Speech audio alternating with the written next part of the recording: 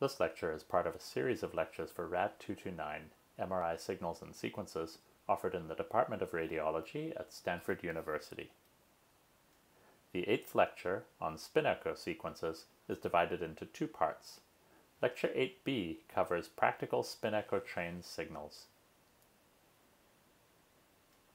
The learning objectives here are to draw waveforms for a practical spin echo train sequence, to explain the function of Crusher gradients, to explain the CPMG condition and why it is important, and to calculate the signal for reduced and variable refocusing angles. So let's look at some practical concepts in spin echo train sequences.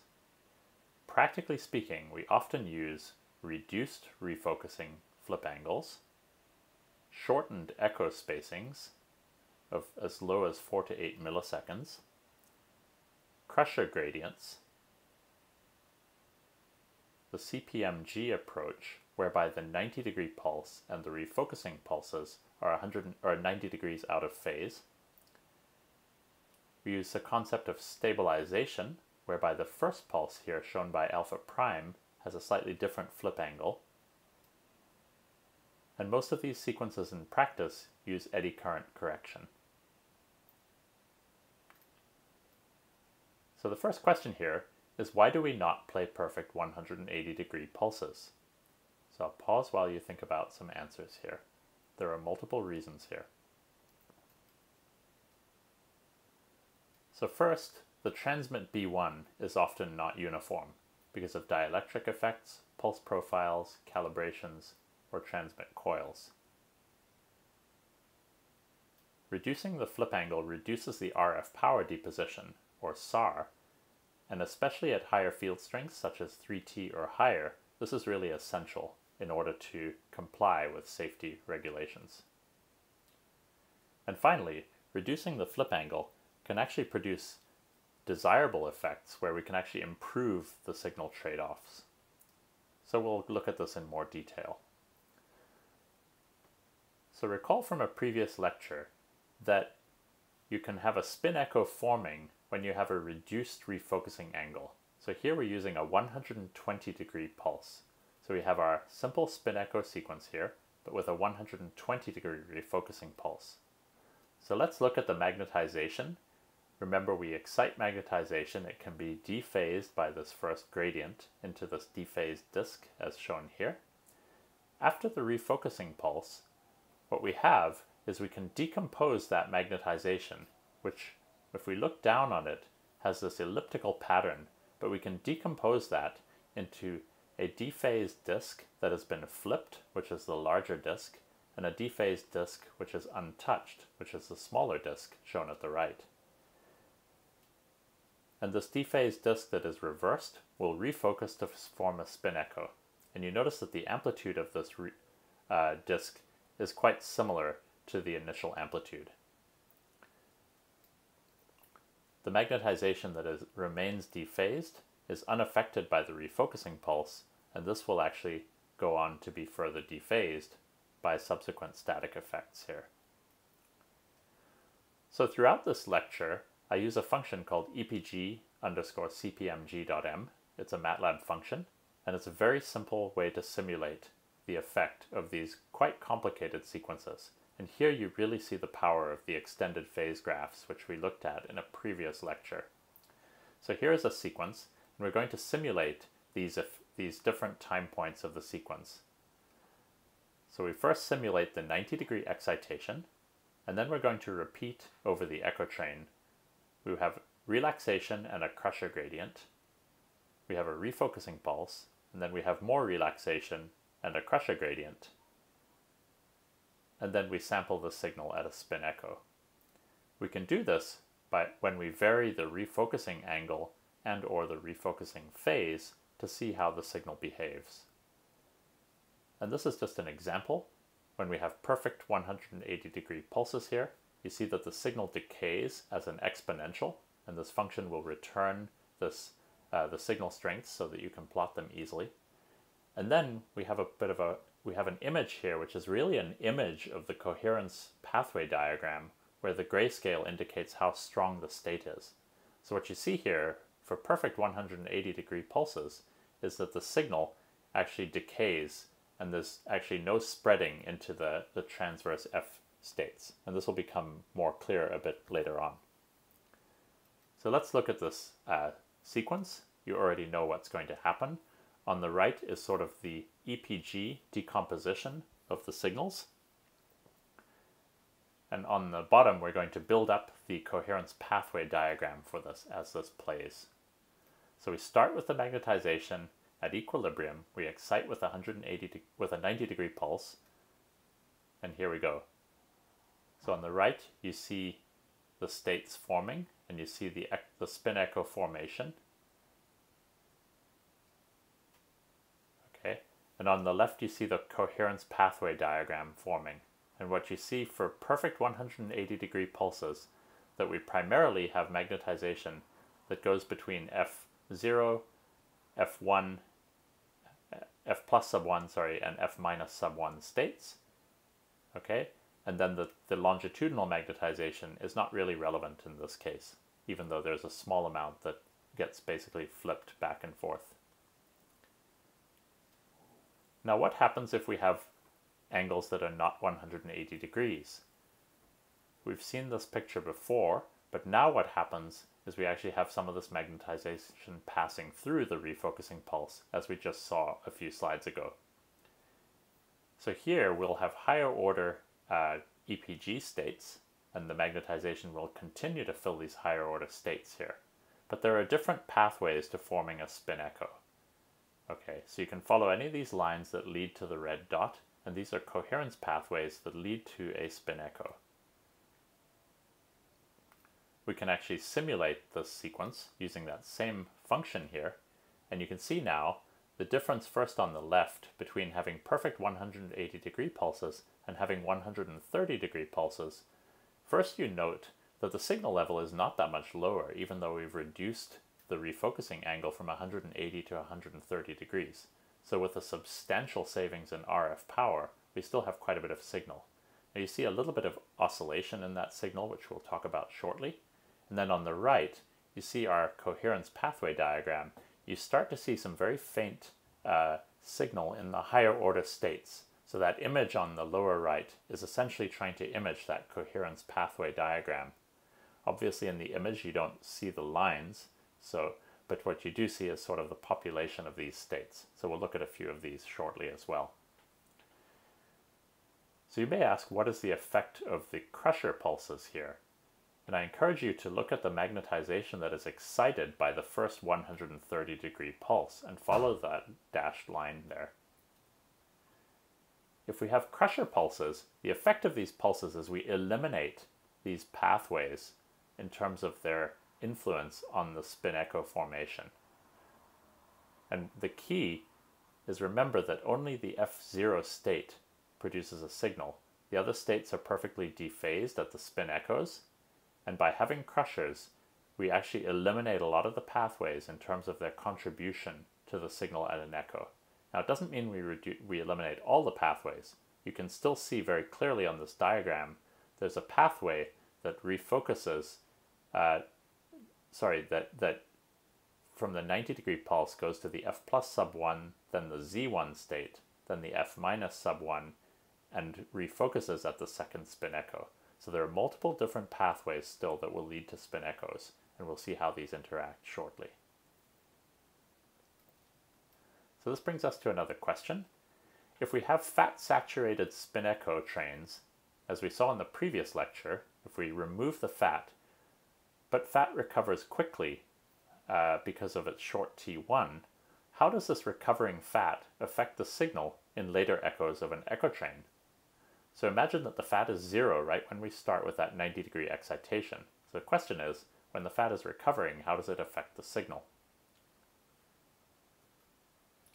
And the answer here is again that for any excited magnetization immediately after an RF refocusing pulse is never refocused at an echo. And if you look at the dashed states, this is what I mean. So any signal that's recovered will follow one of these dashed line trajectories and will never contribute at a spin echo.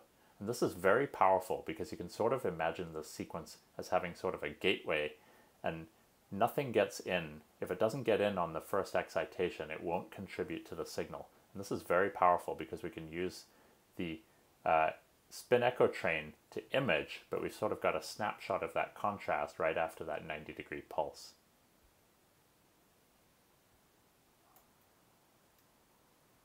So now let's look at CPMG sequences. Most spin echo train sequences use CPMG. The CPMG stands for Carr, Purcell, Meiboom, Gill, and these are uh, well-known scientists in MRI who together uh, derived this formulation. And what it looks like is that the train of pulses has this 90 degree phase difference between the, the excitation and the refocusing pulses. So we can start with a 90 degree rotation about x, and then if all the refocusing pulses are about y, this is a CPMG sequence. Now notice we can have a different reference frame where we have a 90 degree x, and then we can actually alternate the sign of the pulses and have them still about x, and this is equivalent to basically adding a linear phase over the echo train, which will work just fine. It's basically a different reference frame. And what you want to do perhaps to add some intuition to why CPMG works is consider a dephased disk. And if you have a low refocusing flip angle, what happens is that disk will rotate, but it won't rotate completely. But then if you imagine the, the dephasing effects through the spin, so, sorry, rephasing to the spin echo and then dephasing again, on the next refocusing pulse, you'll actually bring that disk back close to the transverse plane. So that may be one uh, interpretation that adds some intuition for you. So let's look at an example of a CPMG sequence. We have a 90 degree excitation about Y and the refocusing pulses are reduced flip angle, 120 degrees, and they're about x, so they're 90 degrees out of phase from the excitation. And we're going to look at these different time points along the bottom. We'll use the EPG formalism to do this analysis because it's quite simple. So we start at point 0 with Q0. This is excited magnetization that is along MX. We play this magnetization through, through a gradient and this brings us to state Q1. And you notice the matrix here, and the magnetization is now in the F plus sub 1 state. We play a refocusing pulse, and here we'll look at the amplitude of the magnetization in the different states, and I draw your attention to the magnetization in the F minus sub 1 state, as this is what's going to refocus through our spin echo, and this has amplitude of 0.75. Of course, we play through another gradient, and this will refocus to the F0 state, shown at the bottom, where we see this magnetization again and it's rephased. Now if we keep going, we go through another gradient and this of course dephases again. And then we play the next refocusing pulse and you notice that the magnetization now in the F minus sub 1 state, which refocuses at the next spin echo, has a magnitude of 0.94. So we actually have a higher amplitude on the second spin echo than on the first spin echo. And this is similar to what we saw, where the first refocusing pulse actually doesn't do quite as good a job as the second refocusing pulse. And this is, the intuition for this is CPMG, what happens is on the even spin echoes, you actually get some compensation for effects for the, the reduced refocusing angle. So the even echoes actually tend to be a slight, slightly bit higher. Now we'll see how this changes uh, shortly. Let's first look at a non-CPMG sequence. Now we have the excitation about x, so there's no longer a 90 degree phase between the signals. So if we look again at the, uh, at the magnetization over the first three points here, we see that now the magnetization is along y, so it's expressed as a, as a plus i. It's refocused, and when it uh, reaches the spin echo here, it still has the same amplitude of 0.75. And this is because for the first spin echo, it really doesn't matter what that rotation axis is for the refocusing pulse. However, let's look at the remainder here. So now what we see is this magnetization dephases again. When we play the next RF pulse, however, we see a difference. We recover much less of the magnetization. And in fact, the second spin echo here has an amplitude of just 0.19. And notice that the 0.56 magnitude magnetization remains in the F1 state at 0.5, and this will be dephased further. So now what we're seeing is more magnetization going into the higher order states here.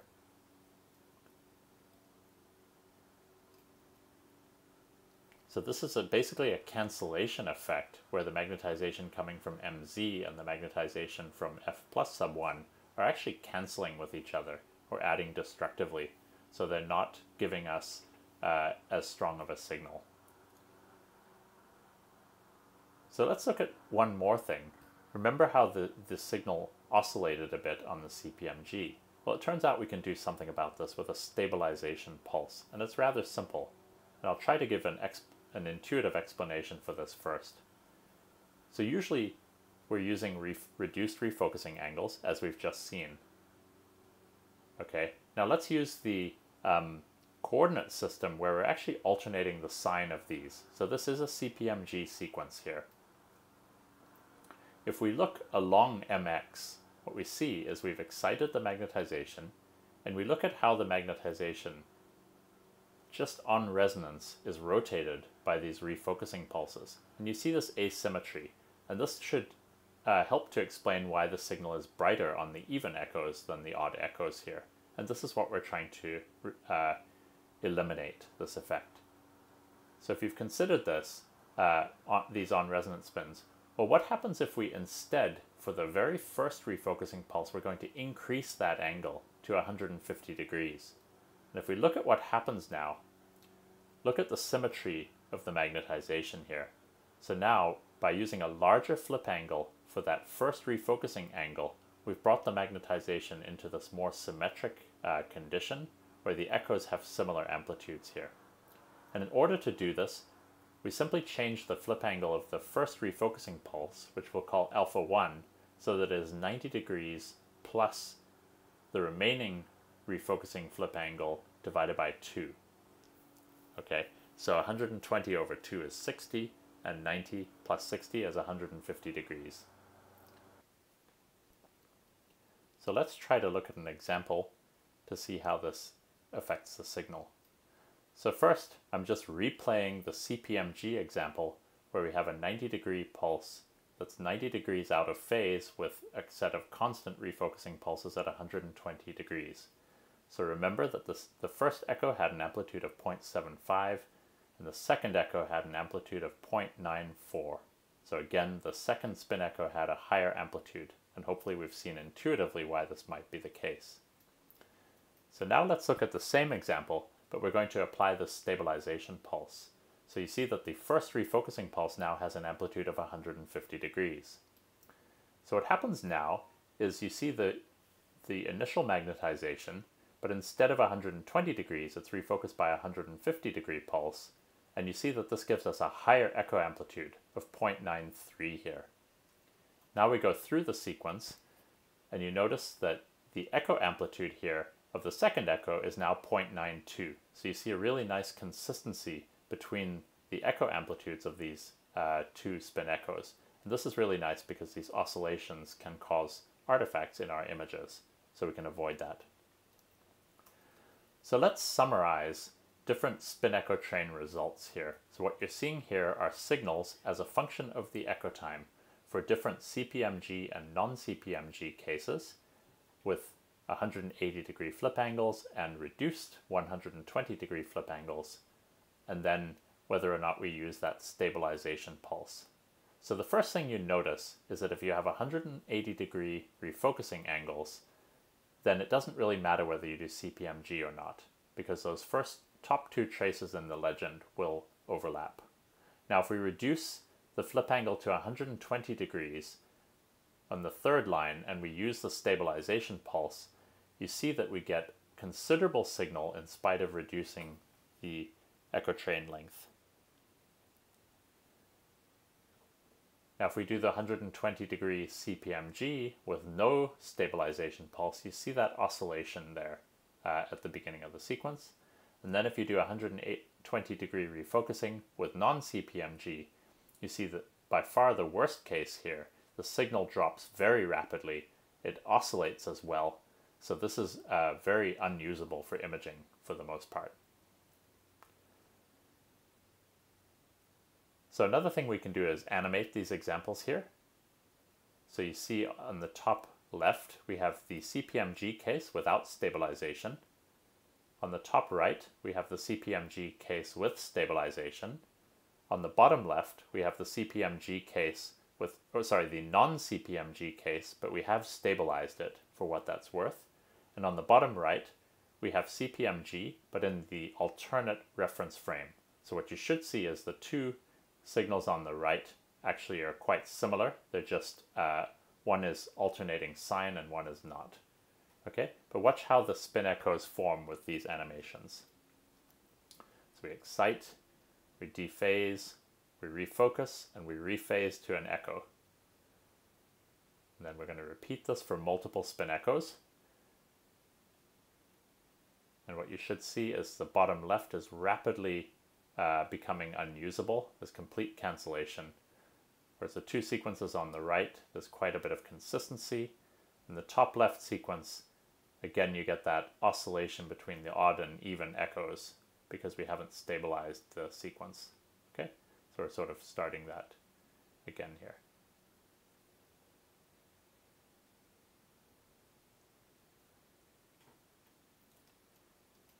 So another way to look at this is this animation here, where we're basically varying the phase of the excitation pulse here. Okay, so we're going to vary the phase from 0 to pi, and we have a refocusing angle of 105 degrees. So if we play this video more slowly here, what happens is, as we move from a CPMG case here, as we go towards a non-CPMG case, you notice that the magnetization, the signal level drops, there's a bit of oscillation. You notice on the right where we're showing the coherence pathway diagram that there's considerably more magnetization in the higher order states. So here you see the F plus states on the top, the F minus states in the middle one third, and then the Z states in the bottom one third. Okay, and then as we approach pi here, we actually sorry, we get to the, worst case here where we're 90 degrees away. So this is pure non-CPMG. You see the signal has dropped off considerably and there's a huge number amount of signal outside of the lower order states. And then if we come back to 180 degrees, we actually retain CPMG and lo and behold, the signal is almost entirely in the low order states here. Okay. So again, you see the, the impact of having CPMG. It's very powerful. So we can take this a step further by using what are called modulated refocusing angles. So now we can actually use flip angles that vary, but still with the CPMG condition. So what you see in these plots here is as a function of the echo number, we've plotted the refocusing flip angle as a fraction of pi. So a full refocusing would be 180 degrees. So you first notice that on the left that these are very low reflipping, refocusing flip angles. And then on the solid black line, you see the resulting signal here.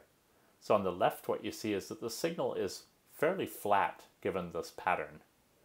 And on the right, what you see is that with a different refocusing flip angle pattern, that the signal is exponential, but we've essentially slowed the exponential decay. So this allows us to take more time to acquire image information across that echo train. So these are just briefly some of the benefits of using modulated refocusing flip angles, which are very common both in single shot and in 3D spin echo uh, techniques these days. And what you also notice is that in general you want to use a fairly smooth uh, flip angle series in order to do this. Okay, so an important topic uh, to include here is that of phase correction. So while we're doing all of these complicated sequences, eddy current variations can be a problem. We've already talked about the CPMG effect and how important it is to maintain CPMG. So between the refocusing pulses, it turns out that the eddy currents are fairly similar uh, so they're less problematic there. However, between the excitation and the 180 degree pulse, the eddy currents can differ, and this can cause a loss of that phase difference, so you can end up with some oscillation, just like we saw in the non-CPMG cases. You can apply linear corrections here by modifying the gx and gz gradient areas. And what I just want to show is the effect here when you have no phase correction. What you see is a little bit of ghosting here. So here the phase encode direction is from the front of the knee to the back, and that's the direction where we have uh, different phase encodes, so we might have some oscillation, and that oscillation, when we Fourier transform it, is resulting in this ghosting. And on the right, when we've applied this phase correction, this ghosting goes away. So again, the phase correction is a part of almost all uh, spin echo train sequences.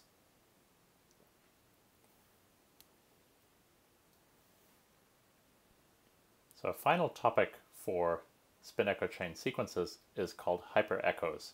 And this is a really elegant uh, discovery here. Essentially, what we're going to look at is the symmetry of sequences around a 180 degree pulse that's applied around the my axis. For this uh, derivation, it could equivalently be done around a different pulse. So the first thing is geometrically, we can see that if we have a rotation about z by some angle beta, followed by this rotation about y, and then another rotation of z about beta, this is equivalent to just having a rotation about the y-axis of 180 degrees.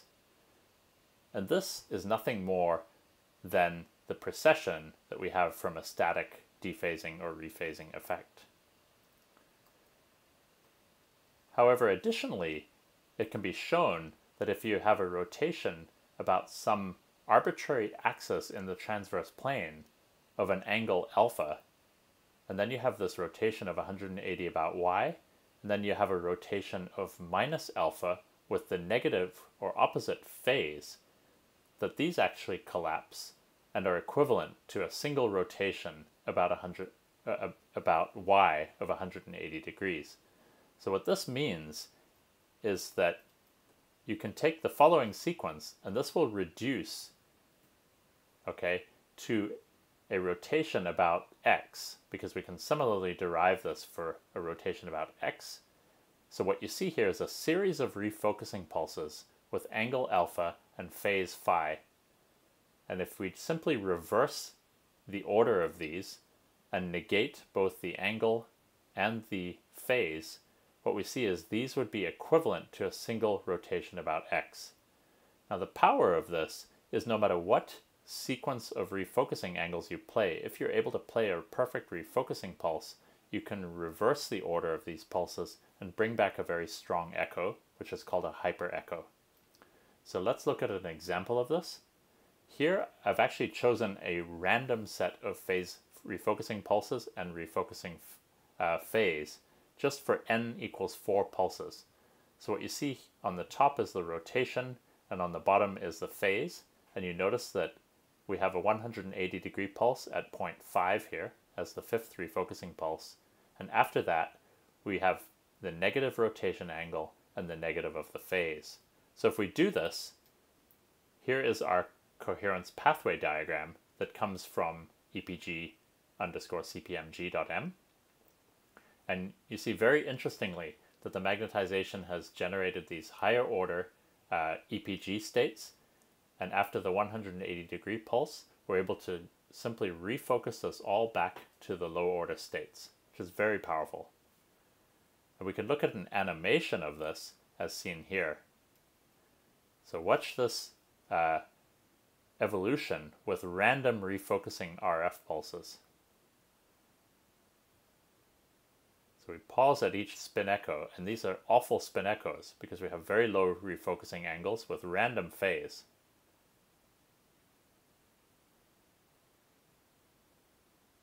And somewhere in here, we're going to do a full 180 degree pulse. Looks like that. And now watch these uh, spin echoes form.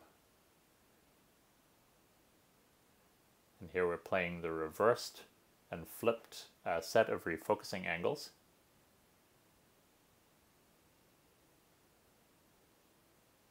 And remarkably, as we come to the end here, these refocus perfectly into the hyper echo. So that's the concept of the hyper echo. So that brings us to the summary for this lecture. So this is all about um, spin echo train sequences that look something like this. So we have the CPMG condition where refocusing pulses self-correct on those even echoes.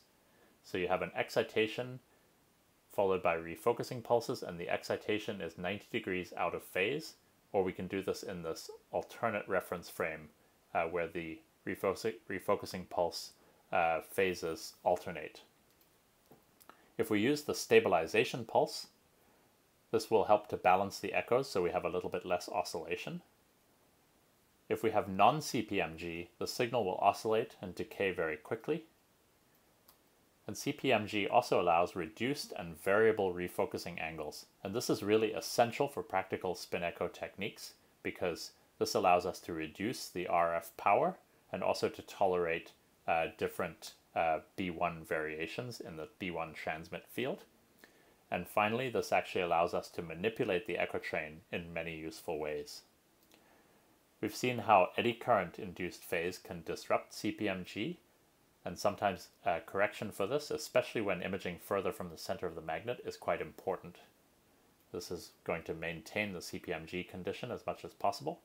And finally, the concept of the hyper-echo enables a complete reversal of a series of reduced refocusing angles. So a question you may ask is how are spin echo sequences related to gradient echo sequences? And we will see that there are actually some interesting relationships when we come to those lectures.